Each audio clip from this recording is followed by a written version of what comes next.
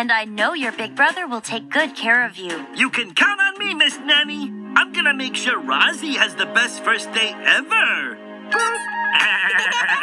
I'm sure you will, Fozzie. Well, I'm gonna go pick out a book for story time. Welcome to the playroom, Rosie. You're gonna love it here.